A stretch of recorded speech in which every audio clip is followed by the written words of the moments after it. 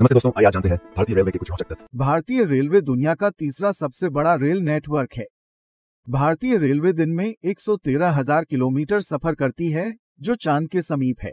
भारतीय रेलवे में सबसे बड़ा स्टेशन है गोरखपुर जंक्शन जिसमें लगभग 50 प्लेटफॉर्म्स हैं। रेलवे स्टेशनों पर भारतीय रेलवे रोज 330 लाख पैकेट दूध और 25 करोड़ रोटियाँ बेचती है। भारतीय रेलवे की सबसे तेज ट्रेन है वंदे भारत एक्सप्रेस जो 160 किमी घंटे की गति से दौड़ती है। Thanks for watching please like comment and subscribe my channel